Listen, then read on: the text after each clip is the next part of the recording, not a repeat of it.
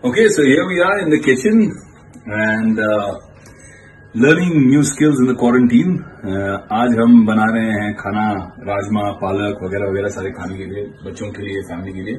पहले हमने थोड़ी सी घी डाली कढ़ाई में यो। बढ़िया सी यस प्योर देसी घी। पहले ऑलवेज प्याज बीवी ने सिखाया है कि first always put the pyaaz in so that has to go in first go So I like using the wooden spatulas. They're nicer.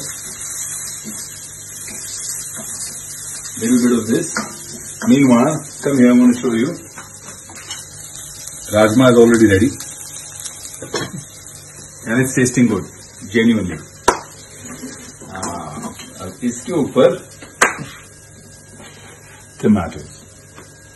There we go. Okay, now I'm now it's time to the masalas and हम बहुत light बनाते हैं तो हल्की सी थोड़ी सी हमने हल्दी डाल दी इसके अंदर the idea is to make it really healthy not to make it so heavily मसालेदार दैट इट बिकम्स हैवी जैसे देसी खाना अक्सर होता है।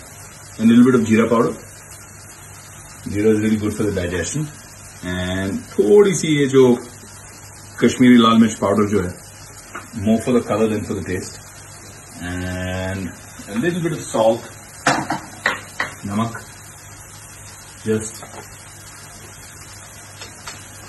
दिया और थोड़ा सा स्प्रिंकल कर दिया बढ़िया सा एंड नाउ द पालक is almost ready if you look it अभी भी स्टिल हरा हरा it's not that dark green वो जो टिपिकल रेस्टोरेंट में मिलता है वैसे ही हल्का हल्का ग्रीन अभी भी है because the idea is not to overcook it to keep it healthy and nice and look at me talking like a full on master chef just few days in the kitchen and I feel like I'm at home here already.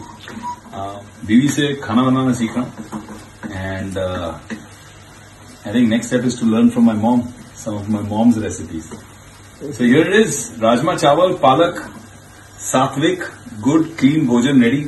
Well, Satvik nahi because there was onions and and uh, lasun in it, but you know what I mean. Good healthy food.